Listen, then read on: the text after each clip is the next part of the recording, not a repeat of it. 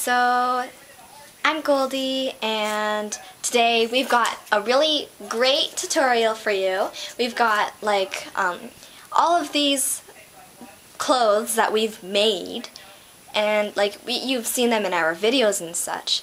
So basically we're going to teach you how to make something and we've got one no-sew tutorial which is going to be hosted by the manager which will be Abby, and one sew tutorial where we use sewing materials as well, which is going to be created or and hosted by the boss, which is me.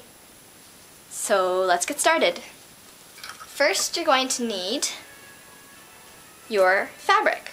And of course, what I'm going to be teaching you how to do is I'm going to teach you how to make an apron. So basically, my apron is going to look something like that. Except I didn't sew anything yet, so that's what we're going to do. Yeah, if you hear any rustling in the background, that's just the manager preparing for her no-sew tutorial. So, over here I've got my sewing materials, and I'm going to get one of the sewing needles and here it is and get thread. Now I don't really care what color it is so it doesn't really matter to me if it shows up and if you can see it. So I'm not going to worry too much on finding white or pink since that's the color of my fabric here. But basically I'm going to need well all aprons have that little neck piece that goes around the neck and down like that, like so. So that's what I'm going to be doing first. So I'm just going to turn the camera off now and do that and I'll show you when I'm done. Alright, so now I'm back and I sewed this on, but see you can see the threads because I didn't bother with finding the right um, color of thread. So whatever, I'm just going to use these little, I don't know what they're called, but like uh, you can stick them in like little papers and keep them together by like opening the back like that. I don't know if you can see that, but it's just like that. Probably better if I use that, yeah.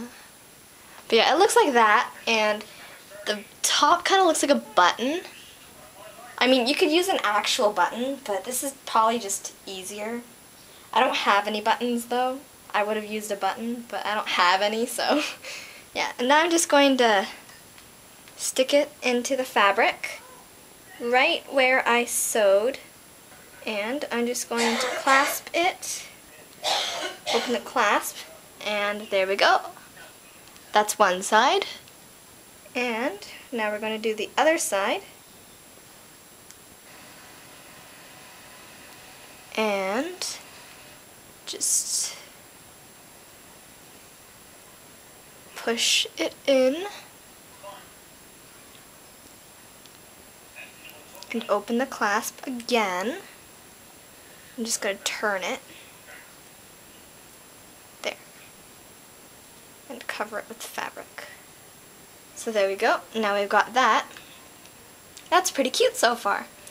But as you know, if you actually have an apron or you know someone who has one, or if you've just seen one, then you'd know that the apron would have like little strings here so you could tie it around your back. Well, next I'm going to have to do that. So it would be easier if I put it on Goldie right now.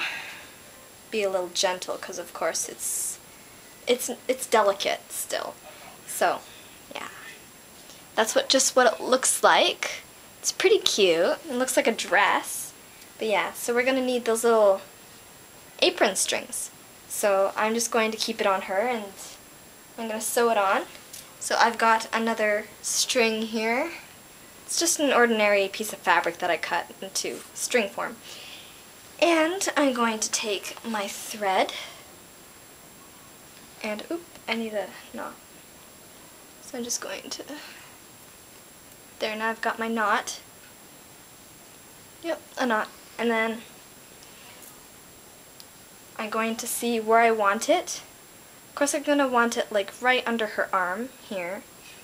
So I'm just going to place it there and stick the needle through it. Don't poke your hand, of course, and just sew it in.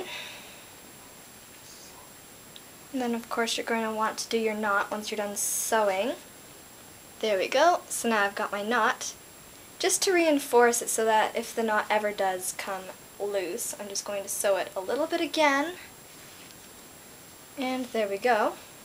Now I'm going to just take my trusty pair of scissors and I've got my other piece of string right here and I'm going to do the exact same thing except on the other side. Now, for that, I'm just going to turn off the camera because I already showed you how to do it before. So, till then, see ya. Hello again. And now I've got the strings on. And now you just like tie it on the back. But what if I want it to look less plain, right? Aprons have pockets in the front, so let's make a pocket.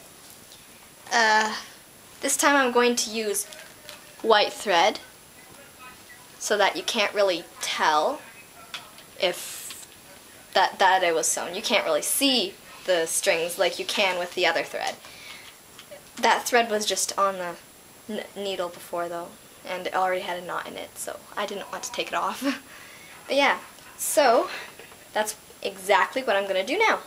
I'm going to sew a pocket. This is just scrap fabric, which will work. So, I'm just going to take my scissors and cut out a piece of the fabric to make it look like a pocket. You will never see a pocket that is not symmetrical. Let's measure it, see where we want it. Oh, perfect! That looks adorable. So now we're just going to sew it now. And you know the basics of sewing. But if you don't, then I'm sure you can ask someone for help. Alright, well I'm just going to sew this on now and I'll show you it I'll show it to you on Goldie as soon as it's done. So bye for now. Hello, I'm back. Sorry for the Oreos in the shot. The manager insisted on putting them there. She really wants an Oreo apparently. Anyway, so we have finished our apron and it's beautiful and the pocket actually works. I put my ring in there so, so that you can see. Anyway, yeah, so here's the pocket and the little gold buttons and it ties in the back just like that. It is gorgeous. I hope you enjoyed this tutorial and now we're going to get started on the manager's no sew tutorial. Hello, so today I'm going to show you how to make a top without sewing. I have this which is the top of a sock basically chopped off and I use socks because they're stretchy and if they're stretchy they'll fit your webkinz. Now I already pre-cut two little holes and don't worry when we're done you won't be able to see the holes and it'll look nice. So I also have this little loop that's from the same sock, it's the same material. It was just used to be like down here. Anyway, so if you loop the fabric through the bottom hole and then the top one like that and uh, turn it. You can then put it through like that. And once you pull it tight it creates a halter top and once you fold the dark blue part down you can't see that anymore and it looks like a really cool top and you can't see the holes or anything and then you can just put it on your webkinz and no sewing required. hey so this is the final product. You can make it a dress or if you don't want you can just make it a shirt and that is the awesome stuff of stretchy socks. So uh, thank you for watching. I hope you had fun. And we hope you understood and enjoyed these tutorials. If you saw any uh, clothing that we made in the past that you want us to show you how to make, or if you have an idea for a new outfit or something, just let us know in the comments or in a message and we'll get back to you. Thank you for watching and have a great day. And subscribe. And like and comment. Thank you.